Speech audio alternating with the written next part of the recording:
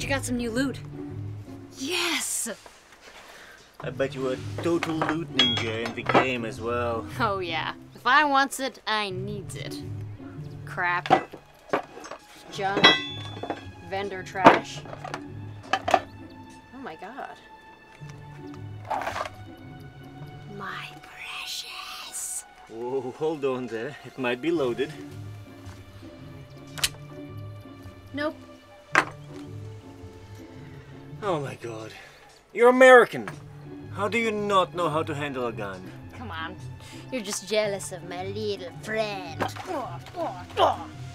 Look, it's a tool, just like any other. Only as good as the wielder. And how come I never get this turned on holding a monkey wrench? You don't need a gun to feel powerful. You are powerful. Because of you. It's nothing I've done. You might be some Russian mafia mob boss. I'm just street trash. I know all about being street trash. It's a good place to start. Dampers you like a sword in the fire. Gets you strong enough to face whatever world throws at you. So what has the world thrown at you to make you so afraid of losing? Come on, don't try and deny it. It's like looking in a blonde, beardy mirror. The only difference is, I own it. Well, you seem to have me figured out. Why don't you tell me? Okay. You not only hate losing, you're afraid of looking foolish. So that tells me you're probably one of those scrawny kids. Got picked on a lot at school, bullied. Am I close? So you learned to fight. You got stronger.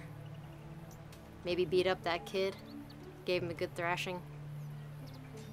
And that's when you decided to never be a loser again. Because it reminds you that that scared, scrawny kid is still a part of who you are, even if you try and deny it. Not bad. Was I close? You were off by one mark.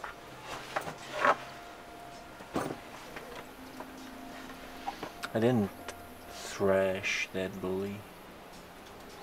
Shot him in the head. yeah, I got the gun. I felt powerful for the first time in my life. Right up until I pulled the trigger.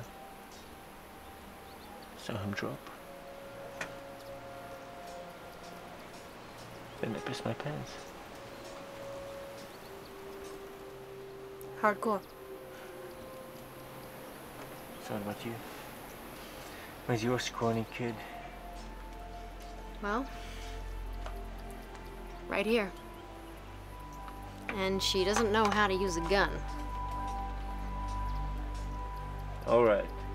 I'll teach you, but you gotta promise not to shoot anyone useful. Define useful. Well, anyone I see is useful. Lesson number one two hands, hold it nice and steady. But it doesn't look as cool as sideways. Yeah, but when they're dead, they're not gonna care. If you'd like to keep up to date with AFK, please subscribe to us on YouTube or give us a like on Facebook. Also, consider becoming a backer on Patreon so we can continue making exciting new AFK content.